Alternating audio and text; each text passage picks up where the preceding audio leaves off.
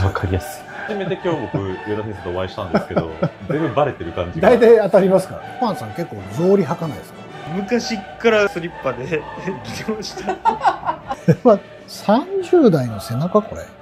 これもう一回上げてください。上がりますよね。はい。じゃあこれ本来は上がらないのが正常です。こっちを下にしておいてるんで。多分一緒に寝たことはあるかもしれない。本日は滋賀県長浜市にあります、えートータルボディケア慶和さんに来ています。えートータルボディケア慶和の上田先生です。はい、上田です。よろしくお願いいたします。ます今日はですね、どんなことをしていただけるのでしょうか？今日は、うんえー、当番さんが、はい。えっと、まあ、慢性的な腰痛慢性的な様子です。があるとはい。聞いたのはいで、自信満々に言うことじゃないですけど、慢性的な様子。鍼灸師だけど。鍼灸師だけど。そうなんですよ。で当番さんも経験はあるかと思うんですけど、はい例えば施術を一回されて、うん。じゃあ一週間後、うんまた戻ってしまったとか。せっかく治しに来てるのに、うん。あれまた戻っちゃった。うん。みたいな人もまあ結構うちもたくさんいらっしゃるので、はい。それが解決できたら当番さん的にはどうですか？よくないですめちゃくちゃいいですよね。か そうですよね。はまあそんなことを今日は皆さんにお伝えできればい。お、いいかなと了解です。思っています。よろしくお願いいたします。はいますさあ、行くぞじゃあ、トバンさんの、はいまず、えー今の状況、今の状況。はい。チェックしたいので、はい、了解です。ちょっと足閉じてください。ははい。こっち向きでいいですか？あ、こっち向きでいいです。はい。で、前屈しましょうか、一回。はい。はい。うん。じゃあ今度、はい、膝なるべく曲げずに腰。で、こんな感じですね。は。はいはい、いいですよ。はい。上半身をうん。左へぐるっと。うん。で、こんな感じですね。ちょっとみ、み、み見えてる視野をはい見てて。くださいね。はい。はい、戻しましょう。で、反対、こっち側。こっち、どっちが行きやすいですか、トバンさん的には。ええー、どっちも行きにくいんですけども、でも左の方が行きやすい行きやすいですよね。気が全然うん角度が違う、はい。うん。左が下がってて、こっち行きやすいと。うん。いうことは、おそらく、こういう感じで寝てる癖ってないですか？あります。こっち向き、はい。はい。ですよね。はい。そうです。ですよね。はい。だからそういうのが今、検査で見えてきましたと。実は姿勢の大切さってここにあります。お正しいポジションにいれば、正しい自律神経のバランスができてるってことですね。はい。痛みとか、いろんな病気の症状にもなりにくい体っていうのはもう、もともと人ってこういうものなんですよ。はい。それをスマホで仕事したりとか、足組んだりとか、横向きに寝ることによって、姿勢を崩していくので、うん。それを放置しておくと、自律神経のバランスが乱れてきて、いろんなところに、えー悪影響を及ぼして、病気にどんどんどんどん近づいていっちゃうよおというところを予防していくのがはい。僕らの仕事。整体をすることだけが仕事じゃないですか。それは一つのきっかけ。きっかけで。じゃあもう一個、テストしてみたいと思います。はいトバンさんは左向きに寝てるので、はい。これ寝てる姿勢をちょっとチェックしたいなと思います。今、これに寝た感じ、はい。トバンさんが普段使ってるものとうん。比べてみて、うん。なんか違いあります？普段よりりもちょっと硬い感じがします。硬はい。はい。じゃあ枕をちょっと入れますね。これはどうでしょうか？普段使ってるものと。あの、高いです。高い気がしますよね。はい。で、これが、実は正常な寝てる姿勢なんってる姿勢が、これ。うん、うん、うん、うん。じゃあ寝てる姿勢はこうなんですね。おー今じゃあちゃんとそのカーブができている状態そういうことですですね。例えばこの状態が理想的な人の寝てる姿勢、バランスはい。ですね。で、首からは腕に神経がいってるので、で万歳してください。これも力比べします。はいげんこつをして、僕向こうへ押すので、はい。押されないようにこっち頑張ってくださいね。。はいい。いきますよ。はい。せーの。まあまあ力入りますよね。はい。はい。じゃあ今度、これが高いってはい言わ。れるので、はい。外します。はい。もう一回押します。。はいい。きますよ。はいせーの。押される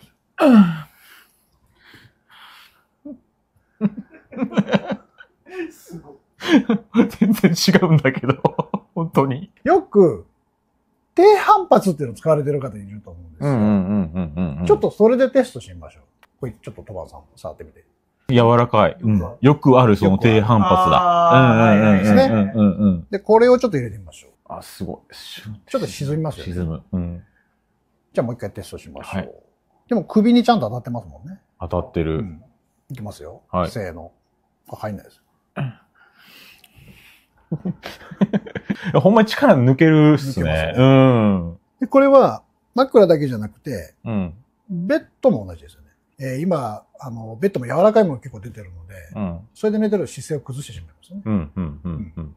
じゃあその日に整体したものがまた寝てる間に崩れてしまって、朝起きたら、あら、整体行ったのにまた腰が痛いわ、みたいな。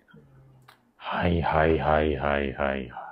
では、一回ちょっと起きてもらっていいですか？はい じゃあ、理想的な寝姿勢はい。を体験してもらおうかなと思うので、もう日日誌にもね。日誌にはい。楽しみです。おう当番さんの、うんえー、姿勢をチェックしたいので、姿勢チェック、はい。ここの柱のところに立ってください。柱のところに立てばいいですか？はい。で、お尻ついて、背中ついて、頭つけます。はい。この姿勢ってどうですか？楽ですか？ちょっと辛いですか？ちょっと辛いです。ちょっと辛いですね。はい。ちょっと今の身長だけ測りたいので、ちょっと日誌にこれ見てほしいですあ。はい。メモリはいくつですか？63.5。?3.5。え、縮んだ。かかとをつけて、お尻つけて、結構辛くないですか？辛いです。辛いね。辛いです。これ辛いですよ。はい。背中だけついて頭出してもいいし、足出してもいいので、自分の楽な姿勢。背中がついとく。背中だけついてる。はい。これが楽。はい。で頭こんだけ浮いてくるんですよ。うんうんうん。確かに。浮いてますね。見えるかな？うんううん。ん。っていうことは、要は、猫背っはい。ていうのがイメージできる。はい。で、もう一回足つけて、頭つけて、綺麗にピシャッといきましょう。はいはい。これ結構辛いですね。背中が。辛いですよね。じゃあ、トバンさんが身長を測ってあげてください。165.9 9かな？ですね。はい。165.9縮んだ。ですね。うんうんはいうん。で、今からトバンさんはこちらに寝てください。はい。で、この状態でしばらく休んでてください。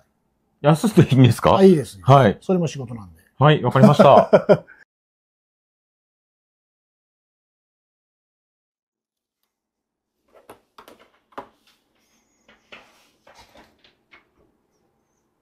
では、起きましょうか。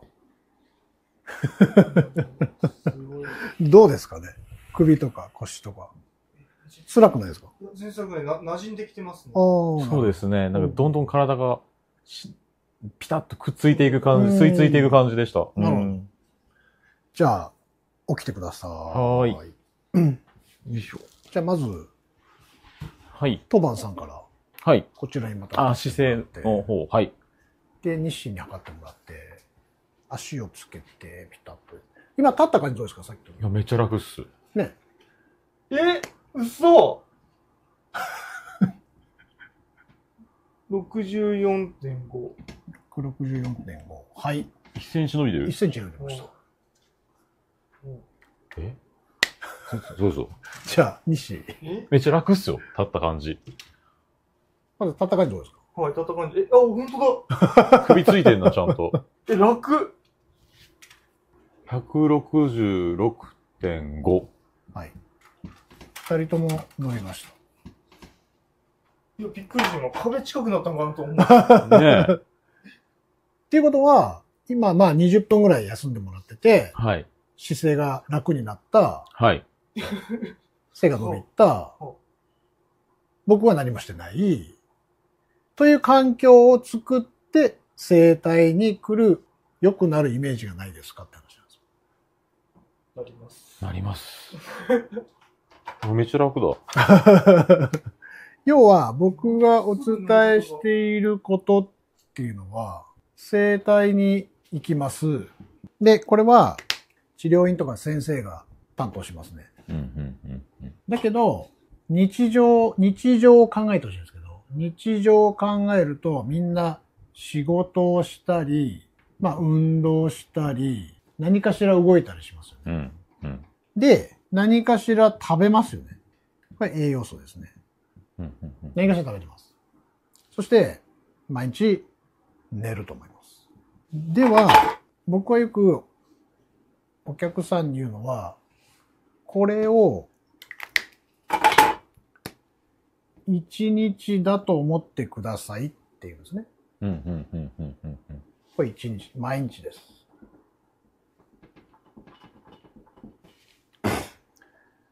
じゃあ、トマンさんもニッシーも、まあ、生体は毎日やんないですね。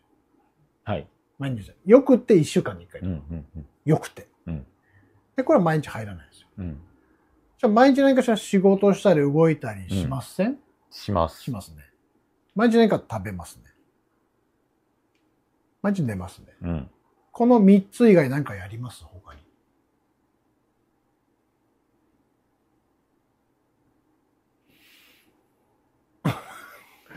動く、仕事する、スポーツする。はい。基本、ないですね。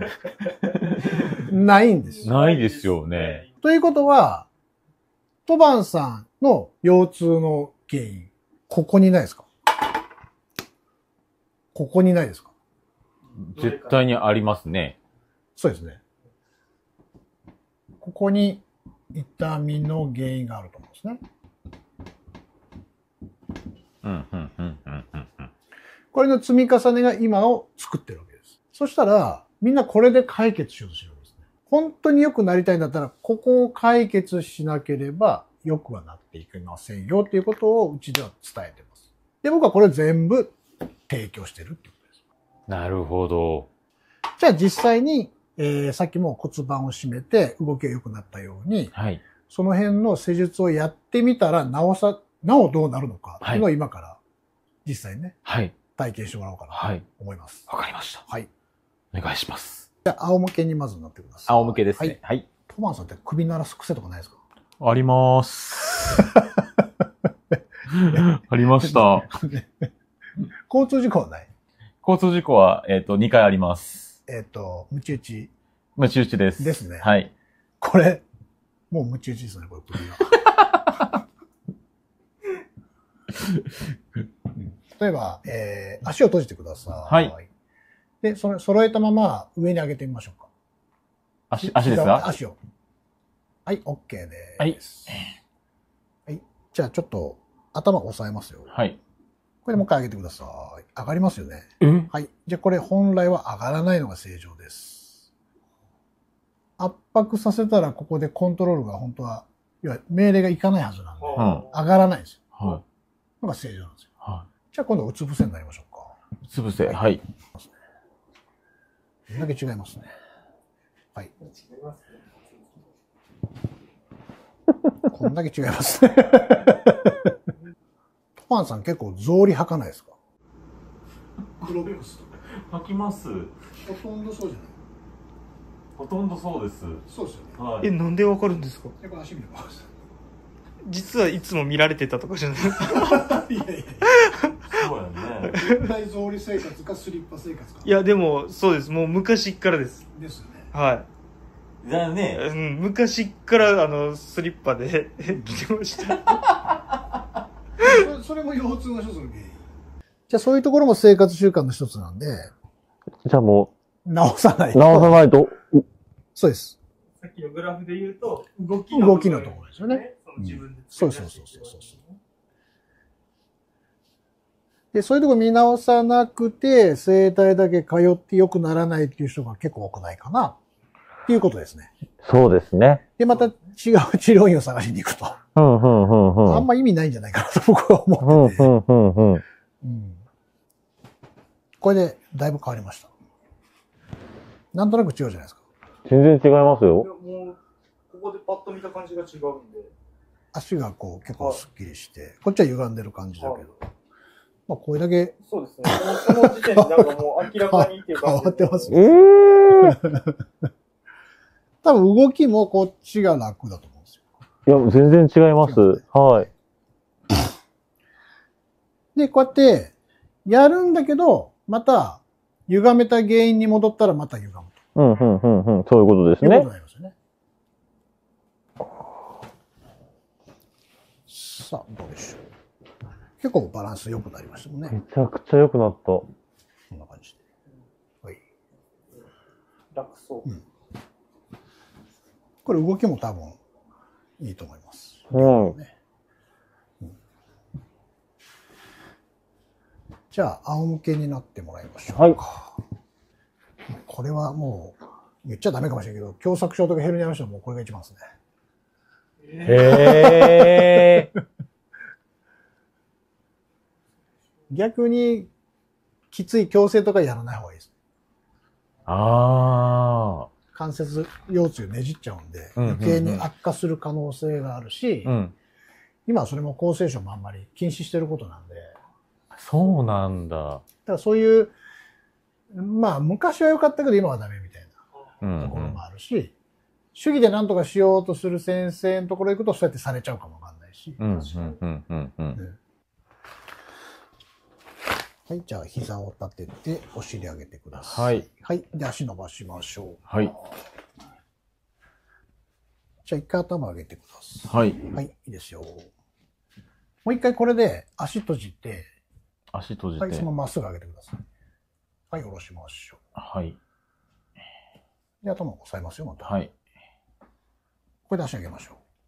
上げにくいでしょ ?OK です。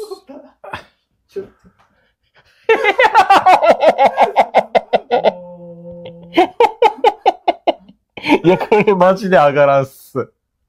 ええじゃあこれは、トバンさんの場合は、さっきは上がった。ー。うん。のは結構歪みが原因で神経伝達のバランスがうまくいってない。っていうことがわかりますね。ですね。ええすごい。そんななる。正常っすもんね、今のがね。上がりにくい方がねそ。うそうそうそう。本当はもうピクリと曲がらない状態うんうんうんうんうん。が一番いいです。はいはいはいはい。トバンさん、矯正受けます？背中。あ、あはい。あ 硬っえ、トバンさん30代ね。のはい。これは30代の背中？これ。この辺特に辛くないですかこれ？ちゃこれ。めっちゃ硬いよ、これ。いんですよ。パーンってなってる感じがね。うん。ちょっと上に乗りますよ。ははい。い、頭を上げてください。グイッとね。よいしょ。持ち上げますからね。はい。お、肩。全然動いてないやん。よし、OK。です。聞こえました。い痛くはないですよ。痛くない。何が起こったかわからない。で、手を楽にして、はい。もう一回、さっきのうん足を上げるテストをするので、はい。で足閉じて、上に上げてみましょう。はい。はい。はい、OK ですね。もう一回頭を押さえますよ。うん。はい、上げて。全然わからなくなった。あ、上がらないですね。OK。すごい。さっきよりも上がらない。で、神経伝達だんだん良くなってって。うん、良くなってる。良くなってるって。良くなってるって言ってるけど。首鳴らす人って、首の歪みが多いんですよ。あやっぱあ。り鳴らすない方がいいんすそうそう。歪んでるので、ガスを抜きたくなる。自分でなんかやりたくなる。そうそうそうそうそう。で特に横向きに、左下に、こっちを下にして寝てるんで、こっちが張ってくるはずなんうんですね。うんうんうんうん。見られてますね。多分一緒に寝たことはあるかもしれない。一緒に寝たことは多分ないかもしれないけど。よいしょ。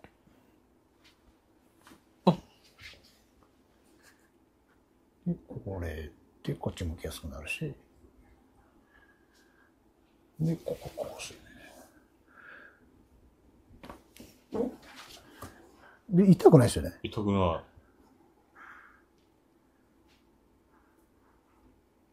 これで、もう一回両端閉じて、い。はい。上に上げましょう。はい。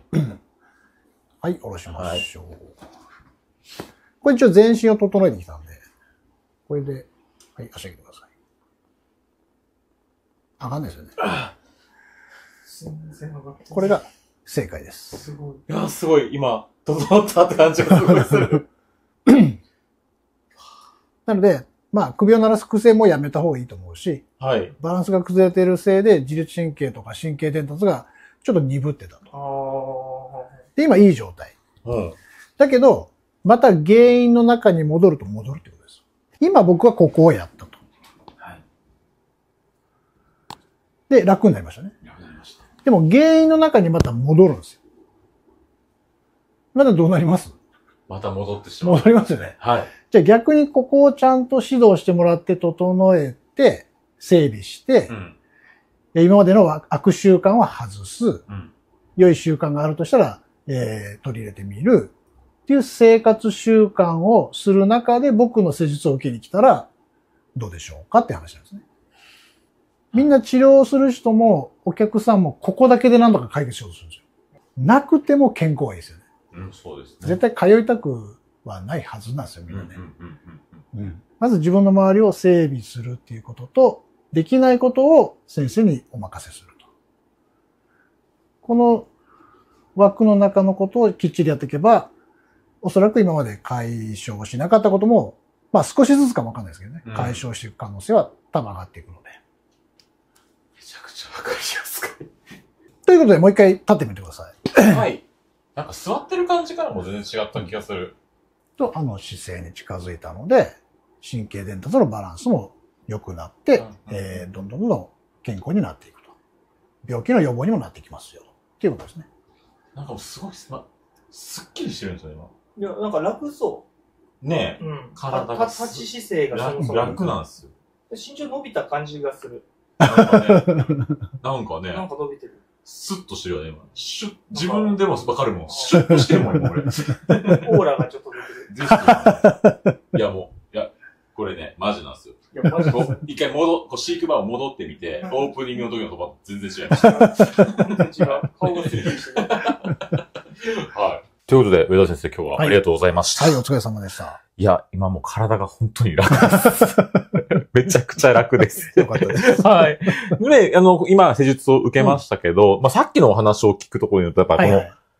に日常、毎日のこの動く、食、うん睡眠で、またさらに、またね、こう痛みにか、痛みが出てきてしまうってことだから、うんうんここもじゃあ改善していかないといけないってことですよね。そうですね。そこもじゃあ先生に指導してもらえるってことそうです、そうです、そうです。うちはだから、生体だけが仕事ではないので、うん、うん。要はこれって、えー、お客さん、患者さんができないこと。うん例えば背骨って自分で触れなかったりするし、歪みって自分ではわからないところがあるので、まずそれは、えー専門家にお任せするという感覚でいいと思うんですけど、だけど、やってもらったものがまた戻るっていう経験をされてる人って、まあ、大半の方はそうだと思うんですね。僕も昔そうだったので。だけど逆に、その原因ですよね。はい。うん例えば、歪んだまま動いてたとか、うん。歪む癖をつけてたとか、うんさっきのトマさんだと右足を組んでたとか、はい、はい、はい。はい左下にして寝てたとか、うん、うん、うん。あるいはそもそも、寝具が間違ってるとか、はい、はい、はい、はい。そういうことですよね。ねうん。朝起きて腰が痛い人なんてもうそれしか原因はないはずうん、なんで、うん、寝てる間に動かないし、うん。うん。何かしてるわけじゃないので、もうそれ寝てる体勢、環境が良くないと。うん。じゃあここ整備すれば、この原因の一つは解決するわけですよね。うんあるいは骨粗鬆症。うん。骨が弱いとしたら、やっぱり整体をして、洋服の上、筋肉の上から僕が何か触って、骨が強くなるわけって多分ないので、うん、うん。そこはちゃんと栄養指導をさせてもらう。うん。で、正しい関節の動きうんっていう運動を取り入れることによって、うん僕の生体が生きてくるはい。っていうこのパッケージでうちは提供しているってことですね。すごいですよね。だから本当に名前の通りトータルボディケアっていうことですね。そうですということでございます。はいこちらですね、滋賀県の長浜市。最寄り駅はどこちらに先生になりますかまあ、これは？長浜駅ですね。長浜駅はいですね。ご予約の時はじゃあどうしましょう？また LINE あ、そうですね。LINE の方でお願いします。概要欄の方に貼っておりますので、そちらからぜひチェックしてみてください。はいで、この視聴者特典が今回うんあるということですね。はい。はい。見てらっしゃる方って、じゃあ何をどうすればいいのかっておそらくわからないと思うので、はいえっと、お問い合わせいただいて、えご来店いただいた方は、これをすべて体験していただくっはい。ていうことをすごい。つけます。すごくない？まあ、せっかくなんで、こう、間違った方向に行ってほしくないですかそうですね。正しいものを正しく使ううん。ことで、えーより一層生きてくるものなので、はい。えーぜひお問い合わせいただいた方は、県内、県外問わず、ええー、すごー。来ていただければ、はい。体験いただくことができます。じゃあ、鳥羽西を見たっていうところをちゃんと伝えていただければってことですね。はい。わかりました。本当に。はい本日はありがとうございはい、ました。こちらこそありがとうございました。はーい。はい。